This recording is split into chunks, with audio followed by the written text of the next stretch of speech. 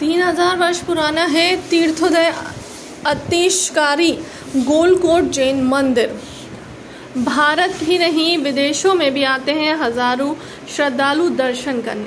दर्शन महत्व से ही दूर हो जाते हैं, विकेट से विकेट रोग शिवपुरी ज़िले के सबसे बड़ी तहसील खनिया थाना से महज 10 किलोमीटर की दूरी पर स्थित है तीर्थोदय अतिशकारी गोला कोट जैन मंदिर, आपको बता दें कि खनिया थाना के गोला कोट जैन मंदिर में तेईस तीर्थकरों की प्रतिमाएँ विराजमान है और मंदिर की प्राचीन ताजबात से भी सिद्ध होती है कि चौबीसवें तीर्थकर भगवान महावीर स्वामी की कोई भी प्रतिमा मंदिर में नहीं है। जैन धर्म के अनुसार अभी तक 24 तीर्थकरों ने मोक्ष प्राप्त किया है। चौबीसवें भगवान महावीर स्वामी 2578 वर्ष पूर्व मोक्ष गए। इसलिए गोलाकोट जैन मंदिर 3000 वर्ष पुराना है। ऐसे में कहा जाता है कि यहाँ पर किसी जमाने में 300 कुएँ और चौरासी बावड़ियाँ होती थी और एक ही गोत्र के 700 परिवार निवास करते थे। ऐसा भी कहा जाता है कि रोज पूजन और अभिषेक करने में से कैंसर जैसे बड़े से बड़े रोग ठीक हो जाते जैसे भी जीते जागते प्रणाम मौजूद हैं। अतिशकारी गोला कोच जैन मंदिर मंगल के बीचों बीच एक पाँच एक डेढ़ सौ फीट ऊँचा पहाड़ पर स्थित है। मंदिर तक पहुँचने के लिए खनिया थाना से आठ किलोमीटर दूर गूडर गाँव से दो किलोमीटर अंदर जंगल में जाना पड़ता है पहाड़ पर जाने के लिए।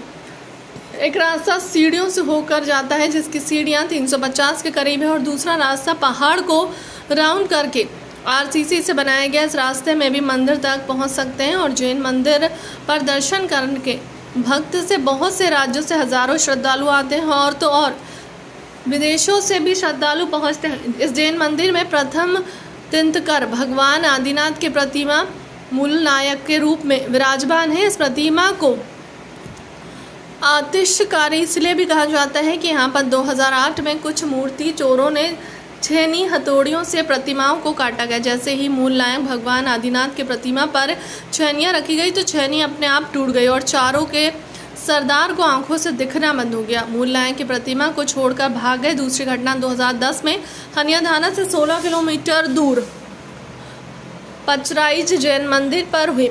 पंच कल्याण और प्रतिमाओं में प्राण प्रतिष्ठा महोत्सव में गलाकोटा के मूल नायक भगवान आदित्यनाथ की प्रतिमा को ले जाया गया और पाँच दिनों चले कार्यक्रम के बाद जैसे ही प्रतिमा को वापस गोलाकोट मंदिर लाया गया तो प्रतिमा मंदिर में ही नहीं जा रही थी। सैकड़ों लोगों ने भी प्रतिमा को नहीं ला पाए। लोहे के गाटर भी टेढ़े पड़ गए। फिर चिन्मय सागर महाराज जंगल वाले बाबा। को इस घटना के बारे में बताया तब जंगल वाले बाबा ने दो घंटे की साधना के बाद सिर्फ़ चार लोगों को बुलाकर प्रतिमा को उठवाया मानो फूल की तरह प्रतिमा उड़ गई। और सिंहासन पर विराजमान की गई तुरंत ही अपने आप दावों के द्वारा प्रतिमा का अभिषेक किया गया, जो हज़ारों लोगों ने अपनी आँखों से देखा है। यहाँ मुख्य आकर्षण का केंद्र पाँच सितारा, अतिथि विश्राम गुड़ हेलीपैड, तितली आकर का बगीचा, पंच सितारा, भोजनशाला, मुनियों की कुटिया, कुटियों के पास बना जलाशय और बगीचे के बीच बना स्विमिंग पूल और लाल पत्थरों से निर्माणाधीन त्रिकाल, जो बीस लाल मंदिर है। तो अभी हम गोलाकोट के मंदिर पे हैं, जैन मंदिर। तीर्थोदय जिसे कहा जाता है। इस, इसके बारे में कुछ आप जानकारियाँ दें। आपको बता दें कि ये क्षेत्र तीन हज़ार वर्ष प्राचीन है। आप जो जिस क्षेत्र पर आए हैं, ये तीर्थोदय, धर्मोदय अस्सी क्षेत्र गोलाकुट जी पचराई। जहाँ पर आप विराजमान में गोलाकुट जी है, और ये तीन हज़ार वर्ष प्राचीन क्षेत्र है। यहाँ पर प्रथम तीर्थंकर, यानी जैन धर्म अनुसार चौबीस तीर्थंकर होते हैं, जिसमें प्रथम तीर्थंकर ऋषभ देव जो कि आदिनाथ भगवान जिनके, जिन्होंने असी मसी कृषि, वाणिज्य, शिल्प, कला और अन्य क्रियाओं का ज्ञान बताया जब कल वृक्ष खत्म हुए। और तीन हज़ार वर्ष प्राचीन ये क्षेत्र इसलिए है क्योंकि यहाँ पर प्रथम तीर्थंकर ऋषभ देव से लेके तेईसवें तीर्थंकर पारसनाथ भगवान तक की प्रतिमा है। चौबीसवें तीर्थंकर भगवान महावीर स्वामी की प्रतिमा न होने के कारण ये तीन हज़ार वर्ष प्राचीन है। यहाँ पर बताते हैं कि 900 कुआ और नवासी बावड़ियाँ देखने को मिलती हैं। जो आप देखते हैं, नीचे जाएँगे, पंच पहाड़ी के रूप में विख्यात है गोलापुर और इन पाँचों पहाड़ी पर देखेंगे तो कहीं ना कहीं आपको बावड़ियाँ वगैरह, जिसमें अभी कुछ बावड़ियाँ हम लोगों को देखने में नज़र आती है हमारे यहाँ पर गेस्ट हाउस भी बना हुआ है, जो कि मात्र चौंसठ, तीन सौ चौंसठ दिनों में कंप्लीट हुआ।